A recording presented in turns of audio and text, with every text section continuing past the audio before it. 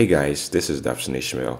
WYSIWYG Web Builder version 17 allows you to create fixed columns based on the number of columns that you have created in your project using layout grid. So in this video, we're going to take a look at how to create fixed columns using layout grid in WYSIWYG Web Builder version 17. So this is an example on my screen. To get started, let me just go ahead to launch my WYSIWYG Web Builder and then get layout grid on my canvas. What I'm going to do is I'm just going to basically create something similar to what is on the screen. So I'm going to have three columns and then I'll move this to, this could even be here and this could be here as well.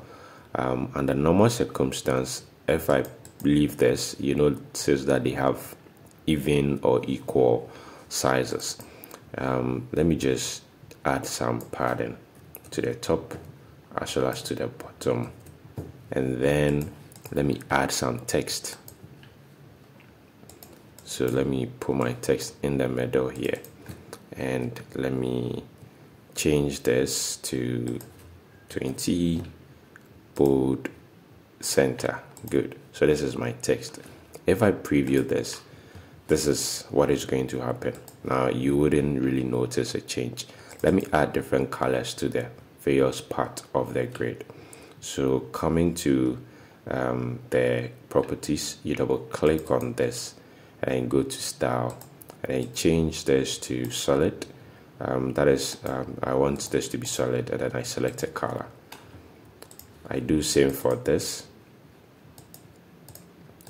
and then maybe red. So when I click on OK you notice these are the colors. Now it's not really visible the way I want it to. So let me just take away the padding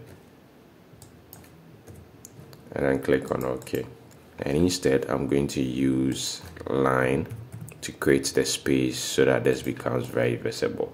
So I'm going to put a line to my grid this is going to have like a white or let me just change the solid to none. And I would copy it or duplicate it and then move it to the top of the text so it creates the same spacing so I'm just trying to get um, this um, colors to be visible. So when I preview this in the browser okay it's not showing because I don't have any content in there as well. So let me just copy this text here and then copy this one also here and then preview this again. So you notice I have my text showing but the background color is not showing the way I want it. So let me just do same for um, this. Let me duplicate it again put it here do same for this as well. So it is easier to have the color showing properly the way I wanted to. So this is what basically I was trying to achieve. Now I have this done. Let's go to a section where we are looking at how to get the columns to be fixed. So you notice that this have the same sizes. So it's the same throughout.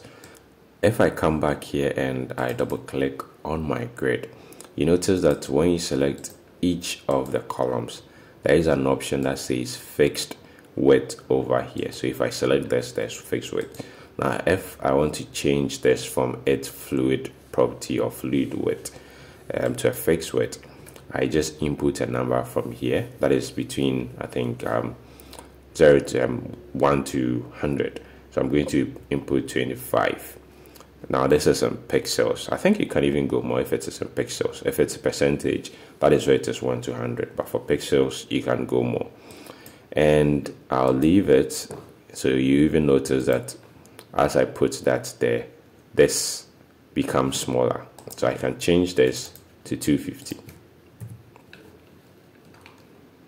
and then when I preview this you notice that it switched um, to 250 over here. So this basically will allow you to create custom layout even if you are using um, the layout grid so you don't necessarily need to do everything a fluid way. So the same way I did for that I can equally do this 250 pixels. And then when I click on OK you notice we have something um, close to what we had here. So this is 250 pixels 250 pixels. And that is basically how to go about using the fixed column option um, using layout grid and WYSIWYG Web Builder version 17 so this is basically to give you an idea about the endless um, designs that you can have when you are using WYSIWYG Web Builder especially version 17 thank you very much for watching. Bye for now